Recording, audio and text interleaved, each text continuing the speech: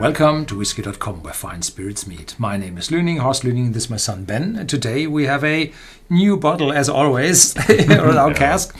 It's a Tamnavulin from the Glen of the Livet. And Tamnavulin is a distillery, a malt whiskey distillery, which produces, well, not many single malt whiskies. I remember just one for the last two decades and uh, this had been a 12 year old and it has some well collector's value because there's only this single bottle uh, available and it became rare. And from year to year the availability uh, went down the prices roses.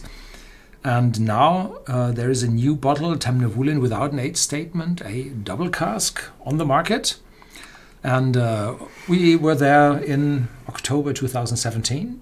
Yeah. And yeah. there we took drone videos. So Mhm. I put a drone video in here for uh, for letting you see how this the distillery looks and very uh, uh, good uh, wide seeing or uh, how it's called.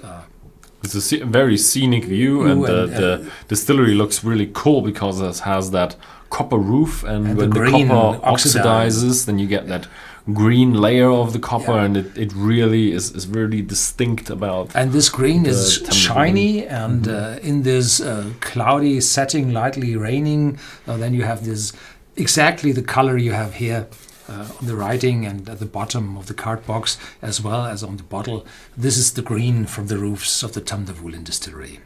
Mhm. So, uh, no age statement, uh, 40% ABV, uh, 0.7 liter bottle. Do you have a price for that? Oh no, no, no, I don't know. Uh, I don't know. Me neither. Uh, so we just have a Could be really expensive though. No, I don't think so. I, I would expect 40 to 50. Something like that, Yeah. around forty. Mm -hmm. Fruity. and uh, I think there, It's a forty percent one, right? yeah, there should be more bottlings coming out in the near future because they got their own bottle with engravings on top here. Mm. Uh, so there will be more to see. And uh, it's not an individual bottle number, but an individual batch number. This is batch 308. So there should be tens of thousands of bottles out there. Um, so I think the proprietors of Tamnavulin, they started, uh, well, to to reactivate. It's producing for already several years now. There had been some years where they produced less, but I don't know if they ceased production at all. there were rumors that always something was going on in distilling. Yeah, hopefully they go a bit more into the direction of the single malt market, and that Yeah. we might enter this distillery at some point. Mm-hmm.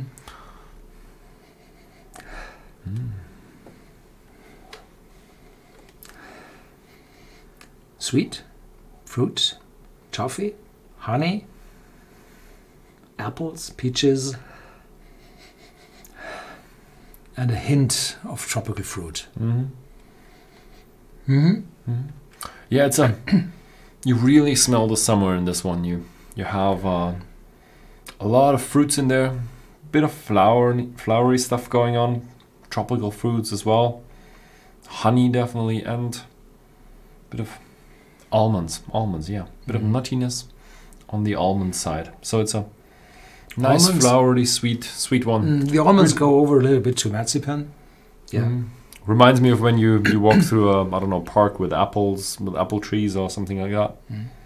So it's a wonderful, complex, fruity Yeah, definitely. single malt.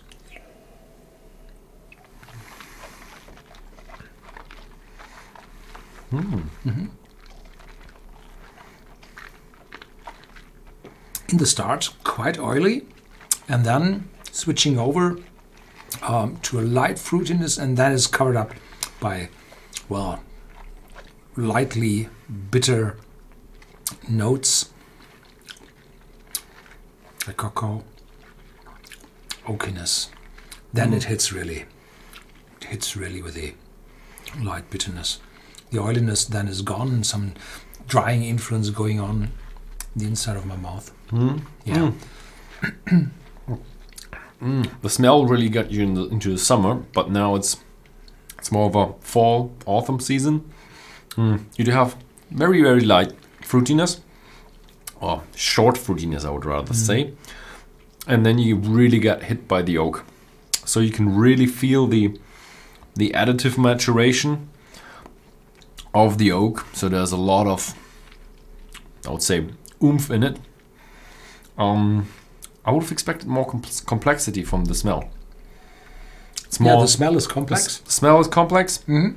The the taste is more unilateral into the oak direction. You do have Mhm. a little bit of hint here and there, but it's not as complex as Yeah. I would have expected from the smell. So I would have expected uh, having a distillery which haven't brought out a older, more matured whiskey for decade. Why did they start with an 08 statement? They, they should have thought longer and should have taken out some older whiskey, some showing some age statement. So starting with a no age statement. the oak is really intense when you when you have a second sip. Uh-huh. Yeah. It's really getting into the oak. Whoa. So we have uh, American oak cask first. Mm. uh, and then the double maturation, the finish in sherry casks, and the sherry casks bring this light, uh, say, nuttiness, almondness in it. Mm. it's nice. And the light fruits should come from the distillery character, and the more heavy fruits in the aftertaste, very short from from the finishing, hmm from the double And the- cask. The aftertaste goes a bit into the bittersweetness region, like cacao, bittersweet chocolate, something like that. It, it fades out. It's it's even becoming more. What do you call it? These dark flavors. and st- more and more uh, sticking my tongue to the roof of my mouth, Mhm. so it's it's drier in the Yeah. aftertaste. And the aftertaste is also a bit dry. You're right. Mm. Okay. Yeah. Yeah. Thank you very much for watching. If you found this video interesting, then please feel free to go to whisky.com and read everything about the Tamnavulin distillery on our website. Uh, thanks for watching and see you next time.